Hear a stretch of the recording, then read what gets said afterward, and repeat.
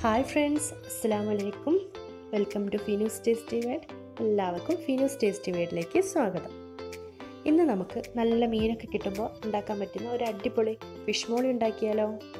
നമുക്ക് അപ്പത്തിന്റെ കൂടെയും ചോറിന്റെ കൂടെയൊക്കെ കഴിക്കാൻ പറ്റിയ നല്ല ടേസ്റ്റി ആയിട്ടുള്ള ഒരു റെസിപ്പിയാണിത് ഫിഷ് മോളി പലരും പല വിധത്തിലാണ് ഉണ്ടാക്കാറുള്ളത്. ഇവിടെ ഞാൻ ഉണ്ടാക്കുന്ന ഒരു സ്റ്റൈലിലാണ് ഇത് കാണിക്കുന്നത്.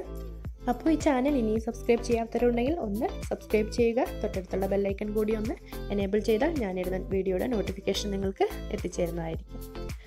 അപ്പോൾ ഫിഷ് മോളി ഉണ്ടാക്കാൻ വേണ്ടിയിട്ട് ഞാനിവിടെ കുറച്ച് നെയ്മീനാണ് എടുത്തിട്ടുള്ളത്.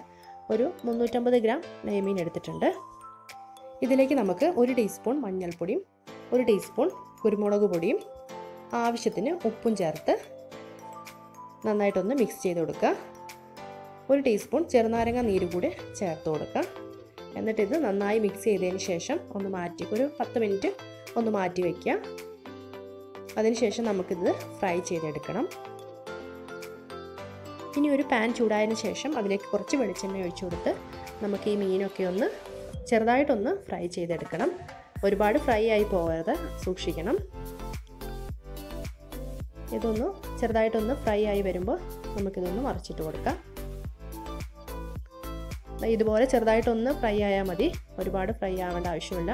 നമുക്കിത് വേവിച്ചെടുക്കാനുള്ളതാണ്.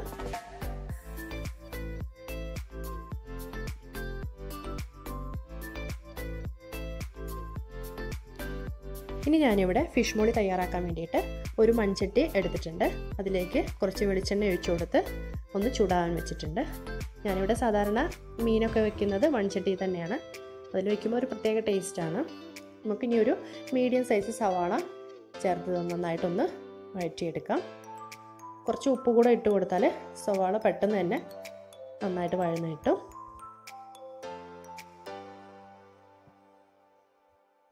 ഒരുപാട് ബ്രൗൺ നിറമൊന്നും ആവണ്ട. ചെറുതായിട്ടൊന്ന് വഴന്ന് വന്നാൽ മതി. അതിലേക്ക് നമുക്ക് ഒരു ടീ ടേബിൾ സ്പൂൺ ഇഞ്ചിയും വെളുത്തുള്ളിയും കൂടെ ചതച്ചത് ചേർത്ത് കൊടുക്കാം. ഒരു അഞ്ചാറ് മുളക് ഞാനിവിടെ പച്ചമുളക് ചേർത്ത് കൊടുത്തിട്ടുണ്ട്. പച്ചമുളകൊക്കെ നിങ്ങളുടെ എരിവിനനുസരിച്ച് ചേർത്ത് കൊടുക്കാം. ഇവിടെ കുറച്ച് എരിവ് എല്ലാവർക്കും ഇഷ്ടമാണ്. അതുകൊണ്ടാണ് ഞാൻ ഒരു ആറ് പച്ചമുളക് എടുത്തത്.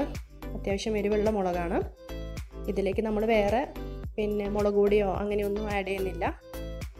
ഇതിലേക്ക് നമുക്ക് കുറച്ച് കറിവേപ്പില കൂടി ചേർത്തിട്ട് നന്നായിട്ടൊന്ന് ഇളക്കി കൊടുക്കുക. ഇതിലേക്ക് നമുക്ക് കുറച്ച് മസാലകൾ ചേർത്ത് കൊടുക്കണം. അതിന് ഞാനിവിടെ ഒരു ടീസ്പൂൺ മഞ്ഞൾപ്പൊടിയും ഒരു ടീസ്പൂൺ കുരുമുളക് പൊടിയും ഒരു ഒന്നര ടേബിൾ സ്പൂൺ മല്ലിപ്പൊടി കൂടി ചേർത്ത് കൊടുക്കുന്നുണ്ട്. മല്ലിപ്പൊടി കുറച്ച് കൂടുതൽ ചേർത്ത് കൊടുക്കണം. എന്നിട്ട് ഇതിന്റെ പച്ചമണം മാറുന്നത് വരെ നന്നായിട്ടൊന്ന് വഴറ്റി കൊടുക്കുക.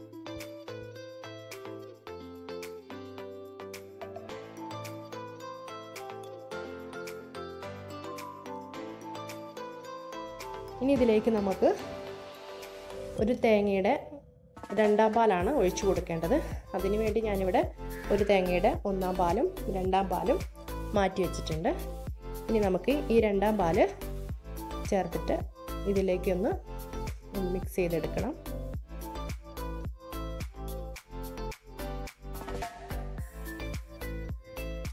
ഇനി ഇതിലേക്ക് നമുക്ക് നേരത്തെ ഫ്രൈ ചെയ്ത് വെച്ച മീൻ ഇട്ട് കൊടുക്കണം. ഇത് നന്നായിട്ടൊന്ന് തിളച്ച് വരുന്ന സമയത്ത് നമുക്ക് ഫ്രൈ ചെയ്ത് വെച്ച മീൻ ഇതിലേക്ക് ഇട്ട് കൊടുക്കാം. അതിന്റെ കൂടെ ഒരു മീഡിയം സൈസ് തക്കാളി കൂടെ ഒന്ന് ചേർത്ത് കൊടുക്കാം എന്നിട്ടിത് ഒന്ന് വേ ഒരു പത്ത് മിനിറ്റ് വേവാൻ വേണ്ടി നമുക്ക് ഒന്ന് മൂടി വെച്ച് കൊടുക്കണം.